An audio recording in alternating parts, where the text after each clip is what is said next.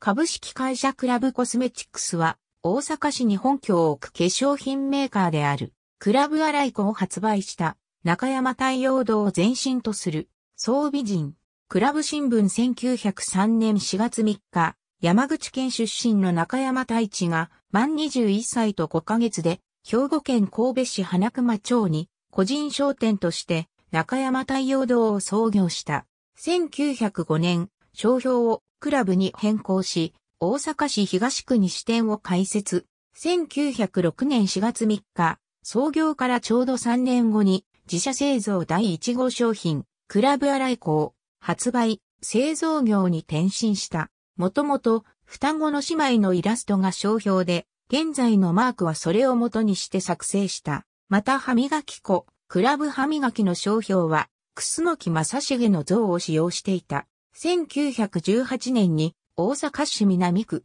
水崎町に本店と工場を建設して移転。1922年、幼い薫を顧問に迎え、化粧品宣伝のためのハウスオーガンを編集発行するために広告社、出版社、プラトン社を併設し、中山の実弟、中山豊蔵がその経営に当たった。アールデコ町の想定で豪華な執筆陣を抱えた女性文芸誌、女性を同年創刊、翌1923年の暮れには文芸雑誌、苦楽を創刊した。これらの雑誌は PR 誌の域を超えた総合文芸誌となって、阪神間モダニズムと呼ばれる文化を生み出し、1925年11月末に東京の大日本郵便会講談社が創刊した大衆娯楽雑誌キングと大いに争ったが、1928年にプラトン社は廃業した。1924年には創業20周年を記念し、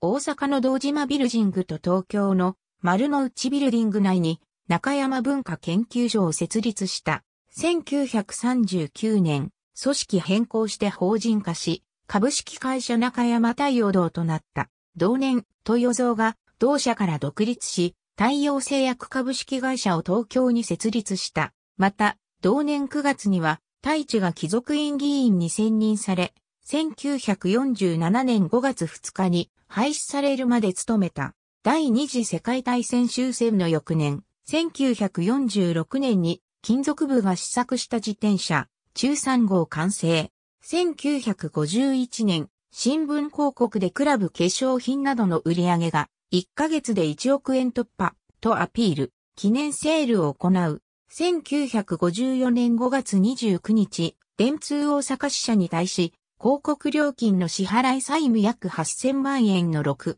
ヶ月棚上げとその後1年間の分割払いを申し入れ、同年6月15日、10億9200万円の負債を抱えて内整理に入り、7月1日には大阪地裁に電通が破産を申請、中山太陽堂が会社構成法申請を行った。同年10月25日、その後、経営再建のため新衛星糸株式会社の社長田代畜氏が第2代社長に就任。創業者であった太一は相談役に退き、創業家が一旦経営から離れた。ちなみに、同年、かつて東の霊と西のクラブと呼ばれた霊と化粧品が解散した。1959年、かつてプラトン社の時代に女性、クラク対キングで部数を競った講談社と提携、お肌の診断を実施し、成功を収めた。1965年、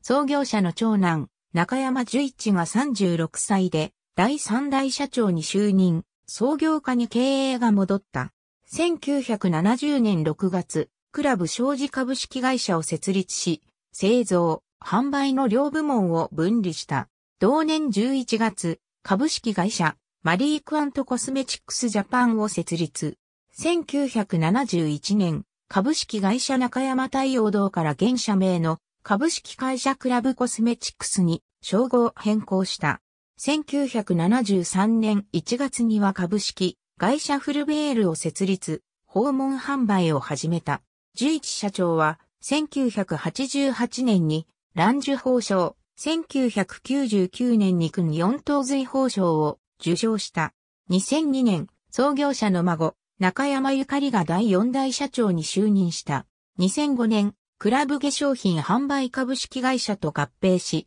製造販売を合流させた。2012年、株式会社フルベールから称号を変更していた子会社のサロンドフルベールを吸収合併し、サロンドフルベール事業部とした文化資料室が2010年にリニューアルオープンし、創業以来、文化への深い関わりを続けている。ありがとうございます。